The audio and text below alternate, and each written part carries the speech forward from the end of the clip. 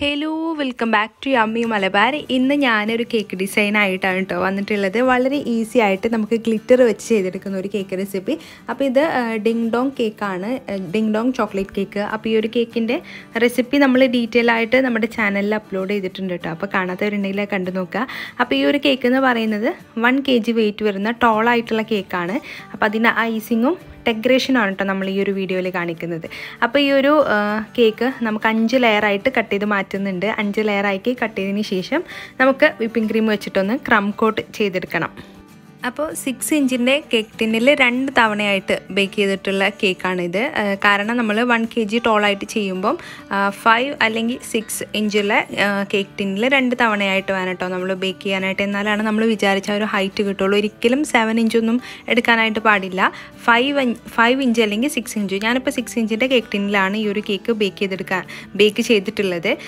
പിന്നെ കേക്ക് ഇവിടെ. അപ്പോൾ നമുക്ക് അഞ്ച് ലെയറായിട്ട് ഈ ഒരു കേക്ക് കട്ട് ചെയ്തെടുക്കാനും പറ്റും. ചിലവർ ആറ് ലെയർ ആയിട്ട് കട്ട് ചെയ്യുന്നവരും ഉണ്ട് അപ്പോൾ നമ്മൾ ഫൈവ് ഇഞ്ചിന്റെ കേക്ക് ടിന്നിലൊക്കെ കട്ട് ചെയ്യുകയാണെങ്കിൽ ആറ് ലെയറായിട്ട് നമുക്ക് കട്ട് ചെയ്തെടുക്കാവുന്നതുമാണ് അപ്പോൾ നമ്മുടെ ക്രീം ഫസ്റ്റ് ലെയർ വെച്ച് കൊടുത്തതിന് ശേഷം ഷുഗർ സിറപ്പ് കൊണ്ട് വെറ്റ് ചെയ്തിട്ട് ക്രീം സ്പ്രെഡ് ചെയ്ത് കൊടുത്തിട്ടുണ്ട്. അപ്പോൾ ശരി ഞാനിവിടെ കേക്ക് ഒന്ന് ക്രം കോട്ട് ചെയ്തെടുത്തിട്ട് വരാം.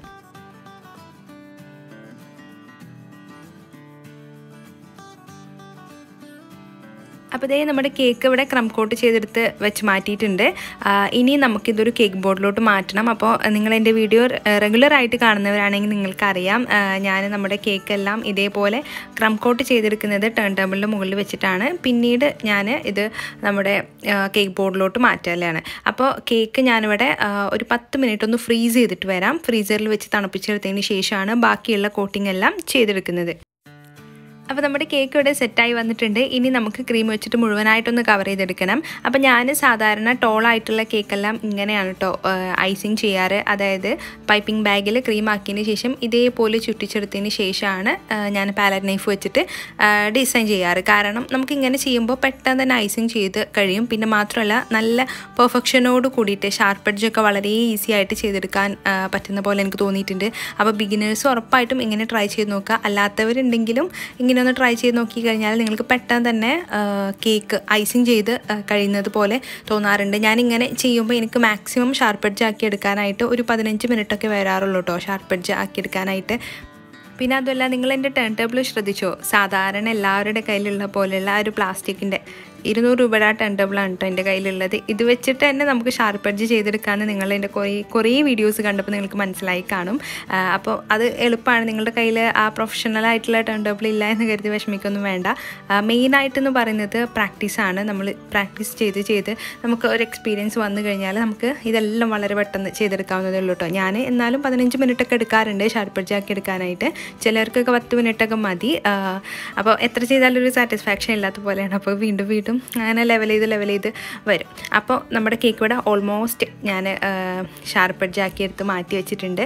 അപ്പോൾ നമുക്കിനി മെയിൻ ആയിട്ടുള്ള ഡെക്കറേഷനിലോട്ട് കിടക്കാം. നമ്മൾ ഗനാഷ് ഒന്നല്ലല്ലോ ചെയ്യുന്നത് ഡെക്കറേഷൻ ഗ്ലിറ്ററാണ് ചെയ്യുന്നത്. അപ്പോൾ അതിന്റെ പേരിൽ ഈ ഒരു കേക്ക് ഫ്രിഡ്ജിൽ വെച്ച് തണുപ്പിച്ചെടുക്കണം നിർബന്ധമൊന്നുമില്ല. നമ്മൾ ഐസിങ് ചെയ്ത് കഴിഞ്ഞാൽ തന്നെ നമുക്ക് നേരെ ഗ്ലിറ്റർ ഇതിന്റെ മുകളിലോട്ട് ആക്കി കൊടുക്കാം.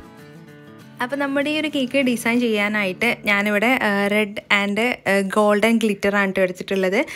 ഈ രണ്ട് കളറും നല്ലൊരു അടിപൊളി കോമ്പിനേഷൻ ആയിട്ടോ അപ്പോൾ ഞാൻ ആദ്യം ചെയ്യുന്നത് നമ്മുടെ റെഡ് ഗ്ലിറ്റർ ഇതേപോലെ മാനുവൽ എയർ ബ്രഷിൽ ഇട്ടതിന് ശേഷം പമ്പ് ചെയ്ത് കൊടുക്കുകയാണ് മുകളിലാണ് പമ്പ് ചെയ്ത് കൊടുക്കുന്നത്. താഴെ നമുക്ക് ഗോൾഡൻ കൊടുക്കാമെന്ന് കരുതി.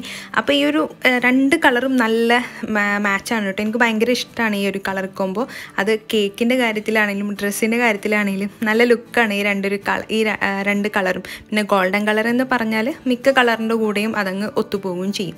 അപ്പോൾ ഈ ഒരു കേക്ക് ആനിവേഴ്സറി സ്പെഷ്യലായിട്ട് വന്നിട്ടുള്ള ഓർഡർ ആയിരുന്നു പിന്നെ ഈ ഒരു മാനുവൽ എയർ ബ്രഷിന്റെ വീഡിയോ നമ്മൾ ഡീറ്റെയിൽ ആയിട്ട് ചെയ്തിട്ടുണ്ടോ?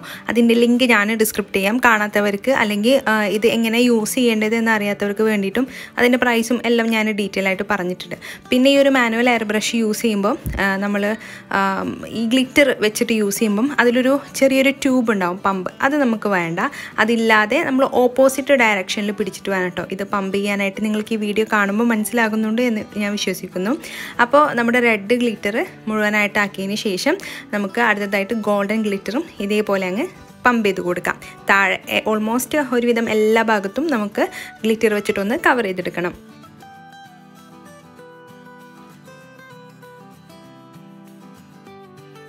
അപ്പോൾ ഇതേ നമ്മുടെ ഗോൾഡൻ കളറും ഇതേപോലെ അങ്ങ് പമ്പ് ചെയ്ത് കൊടുത്ത് കഴിഞ്ഞിട്ടുണ്ട്. നിങ്ങൾക്ക് പറ്റുന്ന പോലെ നമ്മുടെ ഈ ഒരു കേക്ക് മുഴുവനായിട്ടൊന്ന് കവർ ചെയ്യാനായിട്ട് ശ്രദ്ധിക്കണം കേട്ടോ അപ്പോൾ ഇത്രയേ ഉള്ളൂ നമ്മുടെ കേക്ക് ഇവിടെ ഫിനിഷ് ആയിട്ടുണ്ട്. പിന്നെ അവസാനത്തെ ഒരു ഡെക്കറേഷനായിട്ട് ഞാൻ ചോക്ലേറ്റ് നമ്മുടെ ഹാർട്ട് ഷേപ്പ് മോൾഡിൽ വെച്ചിട്ട് ഇതേപോലെ ചോക്ലേറ്റ് മെൽറ്റ് ചെയ്തതിന് ശേഷം ഹാർട്ട് ഷേപ്പ് മോൾഡിൽ വെച്ചിട്ടൊന്ന് സെറ്റ് ചെയ്തെടുത്തതാണ് അതിന് മുകളിലായിട്ട് വെച്ച് കൊടുത്തിട്ടുള്ളത്. അപ്പോൾ ഇത്രയേ ഉള്ളൂ നമ്മുടെ കേക്കിന്റെ ഡിസൈൻ വന്നിട്ട്. അപ്പോൾ നമ്മുടെ പ്ലാസ്റ്റിക് ടേൺ ടേബിളിന് മുകളിൽ വെച്ചിട്ടാണ് ഇത്രയും ഷാർപ്പഡ്ജായിട്ട് നമ്മൾ അടിപൊളി കേക്ക് ചെയ്തെടുത്തിട്ടുള്ളത്. അപ്പോൾ എല്ലാവരും ഇതൊന്ന് ട്രൈ ചെയ്ത് നോക്കുക. നിങ്ങൾക്ക് ഈ ഒരു മോഡൽ ഇഷ്ടമാവുകയാണെങ്കിൽ താഴെ കമന്റ് ചെയ്യുക. കുറേ ഹോം ബേക്കേഴ്സ് നമ്മുടെ വീഡിയോ കാണുന്നുണ്ട്. അപ്പോൾ നിങ്ങൾ ഈ ഒരു ഡിസൈനൊക്കെ റീക്രിയേറ്റ് ചെയ്തതിന് ശേഷം എന്നെ ഇൻസ്റ്റഗ്രാമിൽ ടാഗ് ചെയ്യാൻ മറക്കരുത്. അപ്പോൾ എന്നും പറയുന്ന പോലെ തന്നെ വീഡിയോ ഇഷ്ടമായി കഴിഞ്ഞാൽ എല്ലാവരും ഒന്ന് ലൈക്ക് ചെയ്യുക ഷെയർ ചെയ്യുക. പിന്നെ നമ്മുടെ ചാനൽ ഇതുവരെയും സബ്സ്ക്രൈബ് ചെയ്യാതെ കാണുന്നവരുണ്ടെങ്കിൽ ഒന്ന് സബ്സ്ക്രൈബും ചെയ്തേക്കണേ. താങ്ക്